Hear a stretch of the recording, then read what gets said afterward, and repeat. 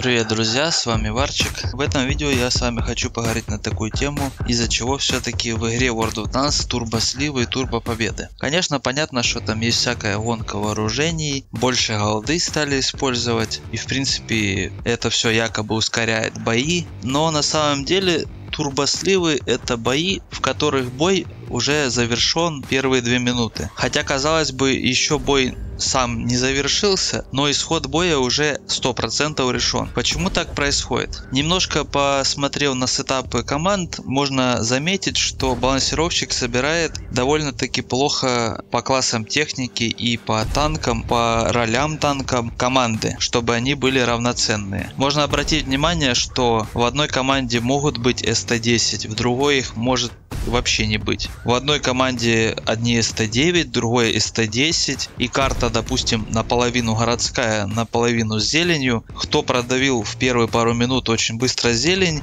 заезжает тяжам в корму. Вроде бы враги еще живые, но бой уже закончился. Мы просто добиваем их так, как нам нравится, как нам удобно. Бывает, когда карта городская балансит один тяжелый танк напротив другого, и явно один из них в городской карте чувствуется в миллион раз лучше. Или, допустим, балансит какой-нибудь 268 вариант 4 напротив гриля на Химмельсдорфе.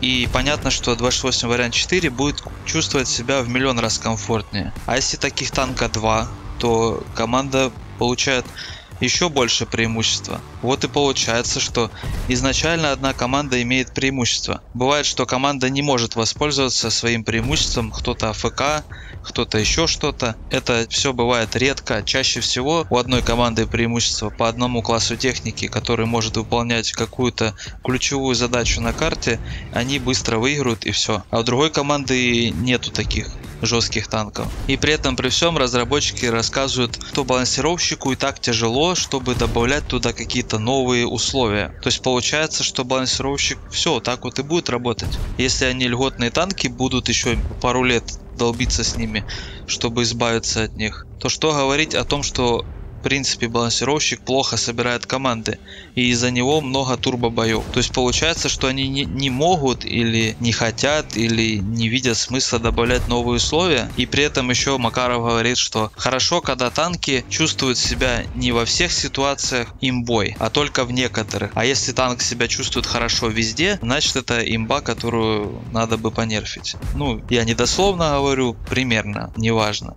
И при этом при всем балансировщик собирает некоторые танки, которые чувствуют себя хорошо на данной карте, а у другой команды вообще таких танков может не быть. Не то, что хорошо, не хорошо, вообще их нет. И улучшений по балансировщику, я что-то так понял, ощущаться не будет.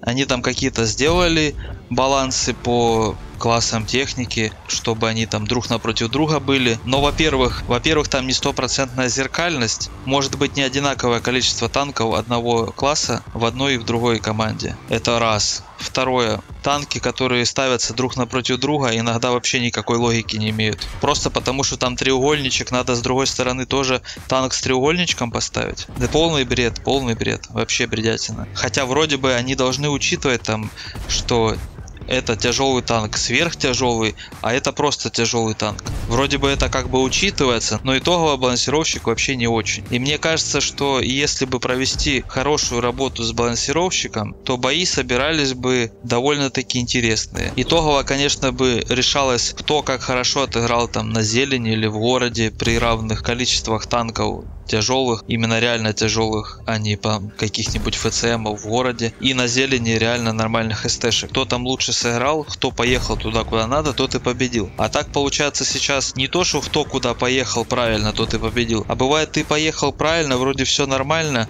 Нету у тебя танков в команде, а у врага есть. Те, которые могут ключевую задачу на карте исполнять. И все. Это уже другое дело, что много слабых игроков в игре, и они занимаются фигней. В, в обеих командах много слабых игроков. Но хотя бы подготовка к бою должна пройти хорошо. Чтобы сам бой имел хотя бы возможность на реализацию какого-нибудь интересного геймплея.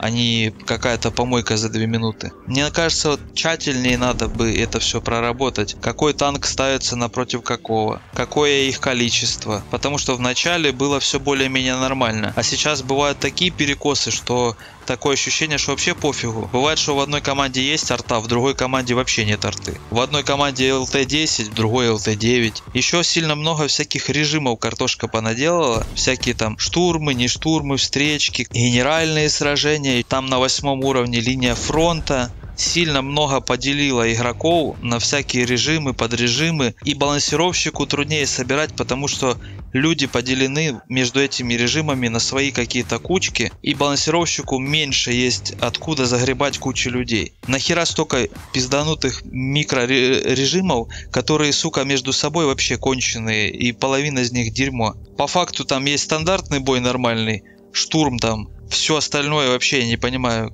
Нахер надо? Зачем еще больше делить, если балансировщик херню высирает вместо боев? Для меня это лично непонятно. Тем более летом, когда онлайн просядет, еще больше будет такой хуеты собирать, что просто пиздец. Потому что ему вообще уже неоткуда будет загребать людей, он будет выкидывать такую хрень, какая просто вот что было, то и кинул в бой. Но это как обычно мои мысли, которые никуда не дойдут, потому что, ну, а, а зачем? Хотя бы я свое мнение высказал и вот и все. С вами был Варчик, играйте красиво, пока.